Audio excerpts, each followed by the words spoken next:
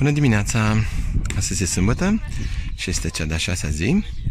Din păcate pentru că la sfârșitul celei de-a patra zi a turnat cu găleata foarte puternic peste noi.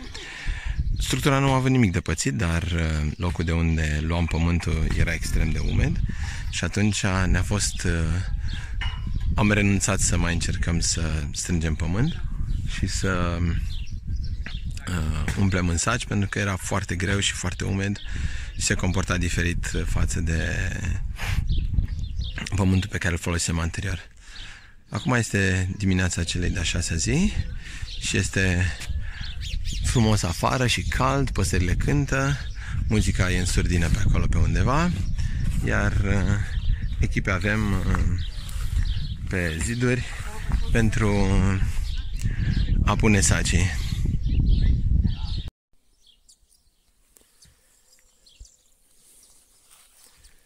La intrare, unde câteva zile în urmă am primit o basculantă de 25 de tone de pământ.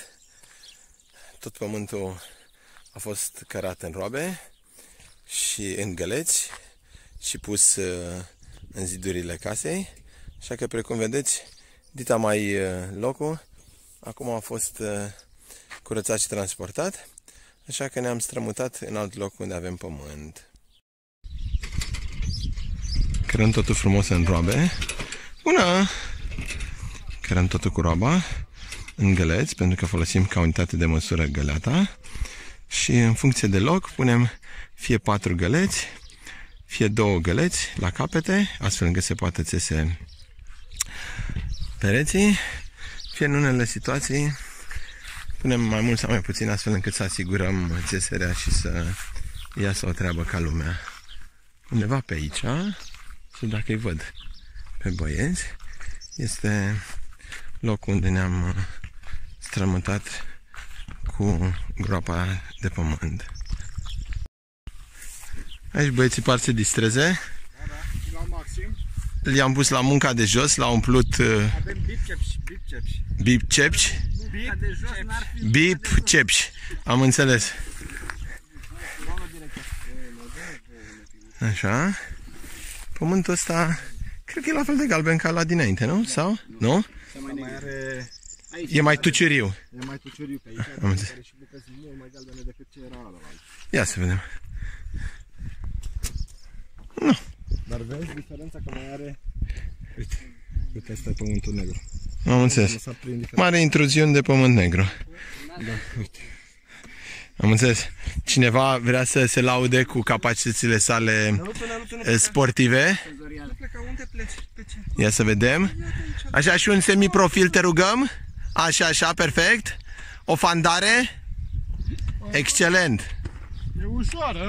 Comunității, mai violent de fel, s-a gândit să ia la bătaie sacii cu Dita Mai Maiu, ca să le arate că nu se glumește pe aici și că facem o treabă ca lumea, în timp ce fetele care au construit uh, zidurile sau au umplut sacii sau fac totul, acum pun și sârma ghimpată. Eu să vă zică că o astfel de casă nu se poate face de niște femei. nu așa, Andreea? Nu ne răspunde, zâmbește doar pe sub mustață, dar uh, eu v-aș spune că fără fetele astea faine nu aș fi, nu am fi construit toată chestia asta pentru că au extraordinară de multă determinare. Și acum a venit Iulian să ne, să ne pună nivela, să ne zică dacă totul e... A, CTC-ul așa, da, da, da, să controlul calității, să supervizeze.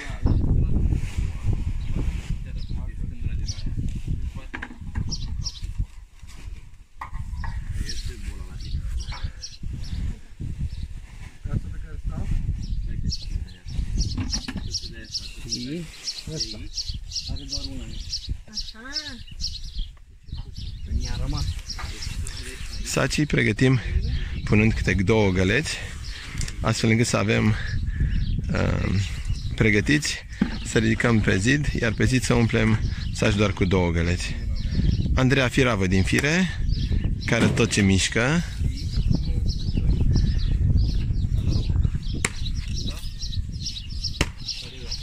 Din echipă s-au gândit să ne uh, mărunțească niște sârmă ca să poată să lege fetele um, cum zice, să poată să lege sacii.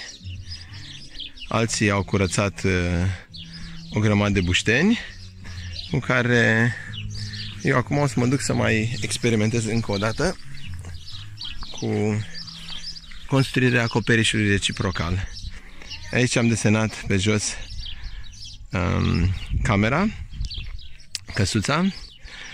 Am încercat ieri să construim uh, acoperișul folosind 12 uh, căpriori.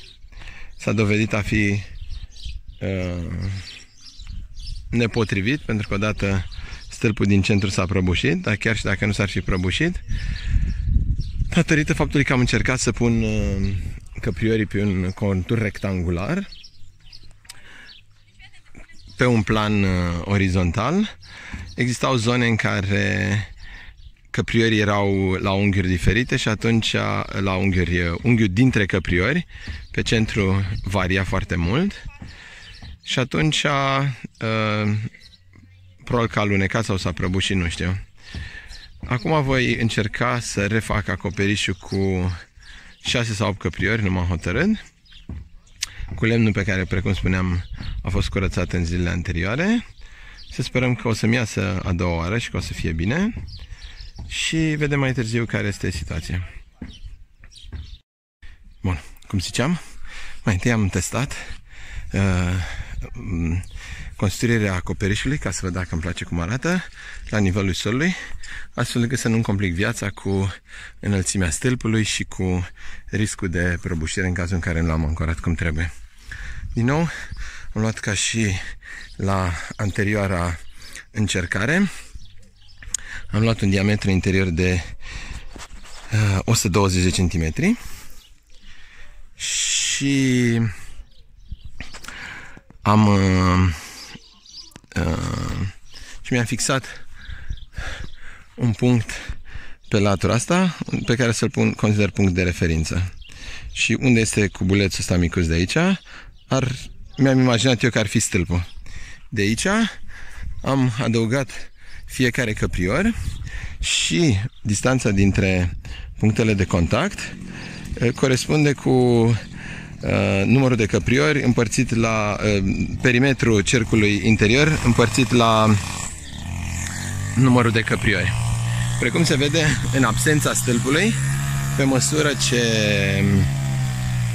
adaugi căpriori, alcătuirea se tot ridică, se tot ridică, se tot ridică, astfel încât în momentul în care adaugi ultimul căprior din serie, în cazul nostru acesta, este mult sub căpriorul acesta de jos. De aceea ce trebuie să facem este să uh, plasăm un stâlp care să uh, ridice primul căprior, care este ăsta de aici.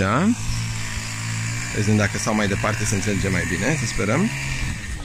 Deci căpriorul ăsta, care e paralel cu noi, să fie mai sus decât căpriorul uh, ăsta astfel încât în clipa când acest ultim căprior îl introduc la mijloc, să nu fie deasupra căpriorului inițial, ci sub căpriorul inițial.